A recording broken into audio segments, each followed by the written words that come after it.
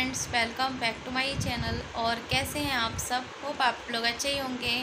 आज है मंडे और आज सावन का पहला सोमवार है। So happy Sawan to all of you आज बस कहीं मंदिर वगैरह तो जाना नहीं है। वैसे इनका हॉलीडे है, लेकिन हमारे यहाँ ग्वालियर में मैंने आप लोगों को कल ही बताया था कि काफ़ी जो है ना केस वगैरह हो गए हैं। तो इसलिए पूरा ग्वालियर बंद कर दिया गया है। मंदिर वगैरह खुले थे मॉर्निंग में दस बजे तक खुले थे। दस बजे के बाद बंद हो गए थे। ठीक है मंदिर वगैरह ना जाकर घर पर भी बैठकर हम पूजा कर सकते हैं आराम से। तो बस मैंने जो है पूजा वगैरह कर ली है और आज फास्ट रखा है। वैसे भी रखती हूँ, लेकिन सावन सोमवार का थोड़ा सा विशेष महत्व होता है। तो बस वही है और अब देखती हूँ मैं अपने लिए खाने के लिए क्या बनाती हूँ। इन्होंने भी कुछ नहीं खाया है। अभी फ़िलहाल चाय तो नहीं बनाने वाली हूँ। दही रखा हुआ है तो सोच रही हूँ पहले लस्सी बना लेती हूँ। तो ये भी पी लेंगे, मैं भी पी लूँगी, उसके बाद फिर मन होगा ना तो चाय बना लूँगी। और हर सावन के सोमवार में ना मंदिर जाते थे दर्शन करने के लिए, काफ़ी अच्छा लगता था। तो लास्ट ईयर भी जब मैं सावन सोमवार की मैंने व्रत रखे थे तो ब्लॉग शेयर किए थे। मंदिर वगैरह गई थी तो आप लोगों ने देखे हैं या नहीं वो ब्लॉग देख लीजिएगा, नहीं देखे हैं तो लिंक आपको डिस्क्रिप्शन बॉक्स में मैं दे दूँगी। तो काफ़ी अच्छा लगा था, लेकिन इस बार कहीं नहीं जाना है। और आप लोगों के यहाँ कैसा है? आपने सावन सोमवार में क्या किया? मंदिर गए, कैसे पूजा की? ज़रूर शेयर कीजिएगा मेरे साथ। तो देखती हूँ क्या रूटीन रहता है, क्या आप लोगों के साथ शेयर करती हूँ।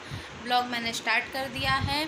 और आज वैसे तो कुछ स्पेशल है नहीं, क्यों? चलिए, मिलती हूँ मैं आप लोगों से थोड़ी देर बाद। अभी आ गई हूँ मैं किचन में और बनाने वाली हूँ लस्सी। तो उसी के लिए मैंने फ्रिज से दही निकाल लिया है। तो इसमें जो दही जमाया था तो मैंने थोड़ा जो है हम लोगों ने खा लिया है और पूरा ही दही मैंने ऐड कर दिया है जितना था। बाकी एक चम्मच दही मैंने निकाला है, छोटी कटोरी में आप देख सकते हैं।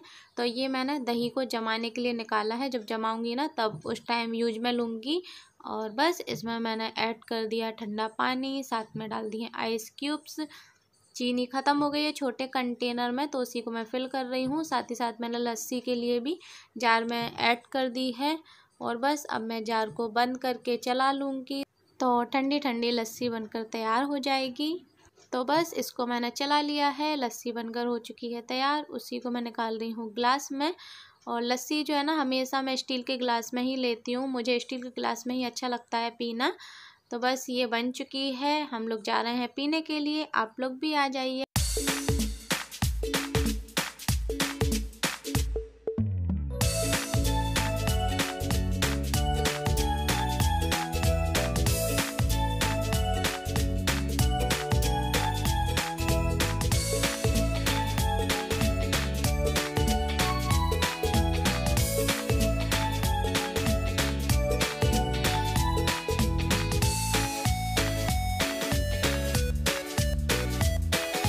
लस्सी पीने के बाद अभी मैं आ गई हूँ किचन में और यहाँ पर जो भी बर्तन रखे हुए हैं, उन्हीं को मैं क्लीन कर रही हूँ। मैंने फिर सोचा बाद में कुछ खाने के लिए बनाऊँगी, क्योंकि वैसे भी मेरी आदत है कि बारह बजे से पहले, जब भी मैं फास्ट रखती हूँ ना, बारह बजे से पहले मैं कुछ भी नहीं खाती हूँ। बारह बजे के बाद ही मैं खाती हूँ और पानी मैं नहाने के बाद ही पीती हूँ। नहाने से पहले मैं पानी नहीं पीती हूँ। ये मेरे व्रत के नियम हैं। वैसे ऐसा कुछ नहीं है कि आप पानी नहीं पी सकते हो। ये मैं खुद से ही, मेरा मन करता है कि मुझे अच्छा नहीं लगता है कि मैं नहाने से पहले पानी पीऊँ तो मैं नहाने के बाद ही पीती हूँ और कुछ भी खाती पीती हूँ ना तो बारह बजे के बाद ही मैं खाती पीती हूँ। तो अभी जो लस्सी बनाई है, वो मैंने बनाई थी साढ़े बारह बजे और अभी जो है ना, अब कुछ टाइम बाद देखती हूँ, फिर मैं क्या बनाती हूँ। और ये भी ना हॉली में है तो बस इन्हीं से मैं कुछ बात कर रही थी, कुछ हँसी मज़ाक की बात हो रही थी तो मैं स्टार्टिंग में हंस रही थी तो बस हम बातें कर रहे थे किसी टॉपिक पर, और मैं इनसे ये भी पूछ रही थी कि बताओ क्या बनाऊँ तो इनका ये था कि ऐसा कुछ बना लो जो मैं भी खा लूँ और तुम भी खा लेना। लेकिन फिर ये बोले कि चलो मैं जो है ना आलू की फिंगर्स बनाता हूँ, वो जो है व्रत में भी खा लेंगे और मैं भी खा लूँगा। तो फिर मैंने बोला कि नहीं, आप बैठो, मैं बनाऊँगी, क्योंकि फिर मैं रेसिपी भी शेयर कर लूँगी। तो इसीलिए और वैसे भी बहुत सिंपल है। अभी आगे आप लोगों को मैं दिखाऊँगी। बस ये है कि जब हम उनको क्रिस्पी बनाते हैं ना तो उसके लिए कॉर्नफ्लोर वगैरह ऐड करना होता है। लेकिन मैंने व्रत के लिए बनाई थी ना तो कुछ भी ऐड नहीं किया था, लेकिन सच में मुझे बहुत अच्छी लगी। और ये ना, आप बच्चों के लिए बना सकते हैं। बच्चों को ऐसी चीज़ें काफ़ी पसंद आती हैं। बनाना भी ईजी है और वो शौक़ से खाते हैं। तो बस उसी के लिए मैं यहाँ पर जो आलू हैं उनको छील रही हूँ और मैंने बर्तन वगैरह क्लीन करने के बाद चली गई थी और अभी टाइम हो रहा है दोपहर के डेढ़ तो सोचा चलो अब बना लेते हैं। तो बस मैंने मीडियम साइज़ के चार से पाँच आलू लिए हैं, उनको ही मैं छील रही हूँ। और मेरे पास जो है ना ये कट करने के लिए है, जिससे मैं लंबे लंबे स्लाइस में आलू को कट कर लूँगी फिंगर सेप में। अगर आपके पास नहीं है तो आप चाकू से भी इनको कट कर सकते हैं। तो इससे देखिए, चॉपर है ना, बहुत आसानी से कट जाते हैं। तो जब भी मैं बेसन वाली भी जो बनाती हूँ ना, आलू की फिंगर्स वो भी इन्हीं से कट करती हूँ। तो बस आलू छीलने के बाद उनको वॉश किया और कट किया। ये कट चुकी हैं, ये आप देख सकते हैं। तो अब मैं फिर से इनको एक बार अच्छे से वॉश करूँगी। तो मैंने चॉपर में ही पानी ऐड कर लिया है। इनको मैं निकालती जा रही हूँ। अभी थोड़ी देर के लिए ना इसको मैं ऐसे ही रख दूँगी, जिसमें मैंने ये बास्केट में निकाला है ना, ताकि इसका जो पानी है ना वो एक्स्ट्रा निकल जाए, एकदम गीली ना रहे, क्योंकि हमको कढ़ाई में इनको फ्राई करना है। और बस यहाँ पर मैंने जो है चाय को रख दिया है बनने के लिए, साथ ही साथ दूध भी बॉयल हो रहा है और छोटी कढ़ाई में मैंने ऑयल भी रख दिया है ताकि गर्म हो जाए। और ये भी आप देख सकते हैं हॉल में ही है, लेकिन ये सो नहीं रहे हैं लेटे हुए हैं। और बस वहीं से जो है ना मुझे डायरेक्शन दे रहे हैं कि ऐसा करना है, वैसा करना है। तो यहाँ पर मैं प्लेट में जो है टिश्यू पेपर बिछा रही हूँ और चाय भी बॉयल हो चुकी थी तो उसमें मैंने दूध ऐड कर दिया है और यहाँ पर ऑयल जो है ना गर्म हो चुका है। तो इसमें जो आलू हैं उनको मैं ऐड कर दूँगी। और देखिए, बिल्कुल भी जो है ना ऑयल वगैरह नहीं ऊपर आ रहा है, क्योंकि इनको मैंने थोड़ा सा एकदम आप चाहें ना, पंखे की हवा में भी सुखा सकते हैं, लेकिन मैंने ऐसे ही रख दिया था तो इनका जो एक्स्ट्रा पानी है ना, सारा निकल गया है और आराम से ईजिली ये फ्राई हो जाएँगी। तो बस मैं इनको जो है ना, अच्छे से गोल्डन ब्राउन होने तक थोड़ा सा क्रिस्पी होने तक फ्राई कर लूँगी, लेकिन बाद में ये सॉफ्ट हो ही गई थी, क्योंकि इनमें जो है ना कॉर्नफ्लोर वगैरह नहीं डला था। अगर कॉर्नफ्लोर वगैरह इसमें ऐड करेंगे ना तो ये क्रिस्पी रहेंगी। तो व्रत के लिए बना रही हूँ, इसीलिए सिंपल ही बना रही हूँ। और कुछ लोग जो है कमेंट करते हैं कि व्रत में ऑयल का नहीं खाया जाता है, आप ऑयल का खा रही हो तो हमारे यहाँ ऐसा कुछ नहीं है, ऑयल का खा लेते हैं, क्योंकि जो व्रत में चिप्स वगैरह फ्राई होती हैं, वो भी ऑयल में ही फ्राई होती हैं और व्रत की चिप्स भी हमारे यहाँ खा लेते हैं तो जो साबुदाने बड़े मैंने बनाए हैं पहले ऑयल में तो इसीलिए लेकिन हमारे यहाँ खा लेते हैं तो व्रत का ही खाते हैं। तो ऑयल में फ्राई की हुई चीज़ खा लेते हैं। तो बस इनको ही मैंने फ्राई कर लिया एक बार की और निकाल लिया है।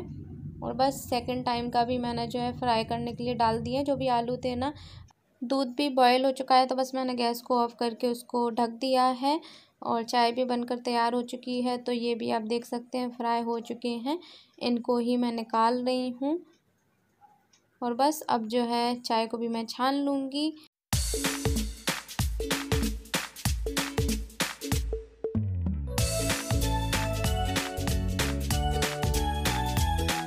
आलू की फिंगर्स और चाय बनकर तैयार है। तो बस ये जो है ना टमाटो केचप वगैरह के साथ खा लेंगे, उसके साथ भी काफ़ी अच्छी लगती हैं। लेकिन मैं सिंपल खाऊँगी ऐसे, क्योंकि मैंने व्रत के लिए बनाया है। तो ये आप देख सकते हैं देख कर खाने का मन तो ज़रूर हुआ होगा। मुझे पता है, क्योंकि आप लोग बोलते हो ना अच्छी अच्छी रेसिपी बनाकर दिखाते हो, हमारा खाने का मन कर जाता है। सो आप लोग भी आ जाइए हमारे साथ खाने के लिए, और बच्चों के लिए आप इसको बनाएँगे ना तो आई एम श्योर उन्हें बहुत ज़्यादा पसंद आने वाली हैं ये। तो ज़रूर ट्राई करके देखिएगा। और यहाँ पर इस पर मैंने काली मिर्च पाउडर और व्रत वाला नमक डाल दिया है। इससे जो स्वाद है ना इनका, और भी ज़्यादा बढ़ गया था। अगर व्रत के लिए नहीं बना रहे हैं ना तो इसमें आप चाट मसाला भी डाल सकते हैं। अभी मैं आ गई हूँ रूम में तो बस कपड़े वगैरह उठाकर लेकर आई हूँ बालकनी से। क्योंकि वो सूख चुके हैं, उनको फोल्ड करके रखना है। यहाँ पर प्रेस वगैरह भी मैंने रख दिया है, इन्होंने की थी तो ऐसे ही रख दिया था। उसको मैंने रख दिया है जगह पर और बस इनके जो कपड़े हैं उनको मैं फ़ोल्ड कर रही हूँ। अभी जो है ना कपड़े ज़्यादा ही निकलते हैं क्योंकि ये ऑफ़िस वगैरह जाते हैं ना तो डेली इनकी ड्रेस चेंज होती है और डेली फिर वॉश भी करने पड़ते हैं। लेकिन क्या करें, अभी इस टाइम पर ज़रूरी भी है और अभी ना हमारे यहाँ कोई आने वाला है तो कौन आने वाला है आप लोग बताइएगा और नेक्स्ट ब्लॉग में आप लोगों से मैं मिलवाऊँगी उनको। तो बस मेरे को सब्सक्राइबर हैं, चलिए उनको मैं विश कर देती हूँ। सबसे पहले जिनका मैं नाम लूँगी, उनकी आईडी का नाम है आलोक सिंह बघेल। इनके हस्बैंड का बर्थडे है छः जुलाई को। उनका नाम है Alok. So wish you happy birthday. एक और सब्सक्राइबर हैं जिनका नाम है मंजू झा। इनकी एनिवर्सरी है सात जुलाई को। So wish you happy wedding anniversary both of you आप दोनों का प्यार और साथ हमेशा इसी तरह से बना रहे। एक सब्सक्राइबर और हैं जिनका नाम है नीला प्रिया। इनका बर्थडे है छः जुलाई को। So wish you happy birthday dear आप खुश रहिए हैप्पी रहिए। तो, तो बस कपड़े वगैरह फ़ोल्ड करने के बाद यहाँ पर मैं जो है झाड़ू लगा रही हूँ और ये जा रहे हैं दूध लेने के लिए। बोल रहे हैं अगर मिल जाएगा तो ले आऊँगा। और वेजिटेबल्स भी ख़त्म हो गई हैं। अगर कुछ मिल जाएँगी तो वेजिटेबल्स भी ले आएँगे। तो बस उसी के लिए ये जो है मास्क वगैरह लगा रहे हैं और बैग वगैरह ले रहे थे। तो बस अब ये जा रहे हैं और इसी ब्लॉग को मैं आगे कंटिन्यू करूँगी और आपको पता चल जाएगा कि हमारे यहाँ कौन आया है। सो नेक्स्ट ब्लॉग का वेट कीजिएगा। तो चलिए फ्रेंड्स, आज के इस ब्लॉग को यहीं पर एंड करते हैं। अगर आज का ये ब्लॉग आप लोगों को पसंद आए तो प्लीज़ वीडियो को एक लाइक कर दीजिएगा। साथ में मेरे चैनल को सब्सक्राइब कर लीजिएगा। मैं आप सभी से मिलती हूँ नेक्स्ट वीडियो में तब तक के लिए बाय